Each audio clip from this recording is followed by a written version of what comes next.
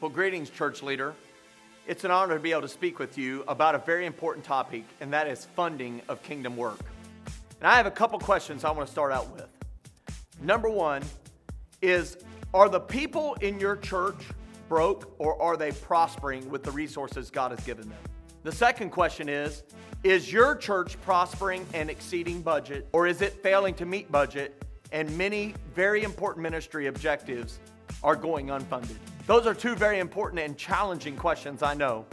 And I just want to introduce myself. My name is Joseph Sangl, and I am the author and the teacher of a group study called I Was Broke, Now I'm Not.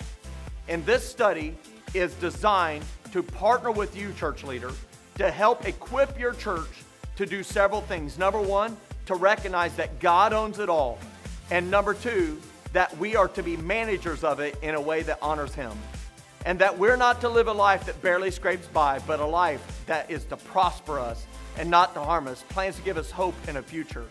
And I've written this study to be able to be a partner with you, to be able to equip your church, to be able to have a budget, to be able to dream again, to be able to save money, to be able to give.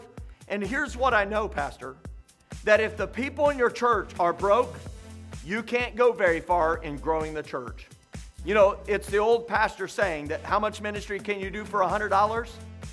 A $100 worth. How much can you do for a million? A million dollars worth. Pastor, I want to be able to work with you to help equip your people to remove the excuse that they can't give because they're broke. Ultimately, people don't give to your church for one of two reasons. They either don't know what God's word says about giving, or two, they're choosing not to obey God's word.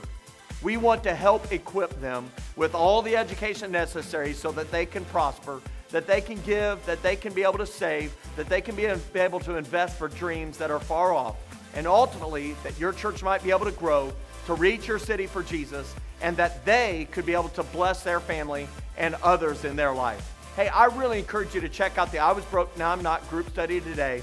It's 30 bucks for a family to go through it. Only 30 bucks. That's less than half of any other alternative that's in the marketplace. And I, I'm here to tell you this study, this study has a DVD that's with it. Uh, each, each participant, it's going to cost 30 bucks. They get a copy of the I Was Broke, Now I'm Not book and the accompanying group study guide. And then you only need one DVD per group. And listen, you could transform the entire giving culture of your church in one year's time if you put enough of your people through a study like this and had a message series associated with it.